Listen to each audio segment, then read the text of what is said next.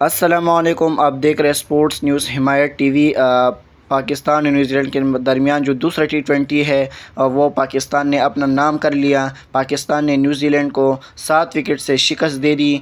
बेहतरीन बॉलिंग का मुजाहरा किया आज पाकिस्तान के बॉलरों ने। ख़ास पर शाहिन शाह ने तीन विकेट लिए और दो विकेट जो है मोहम्मद आमिर ने लिए दो विकेट इबरार अहमद ने आज लिए और एक विकेट जो है शताब को भी लिए और बैटिंग में भी जो है पाकिस्तान ने अच्छा परफॉर्म किया है और सात विकेट से जो है न्यूजीलैंड को हराया। न्यूजीलैंड जो है बुरी तरह से जो है बॉलिंग में बैटिंग में दोनों शुबों में जो है वो नाकाम रही है।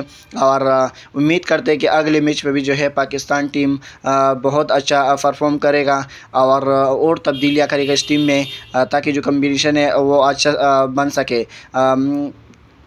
क्रिकेट के हवाले से जो भी अपडेट हो तो इस चैनल पर आप लोगों को मिलेगी। तो इस चैनल को सब्सक्राइब करो और लाइक भी करो। Thank you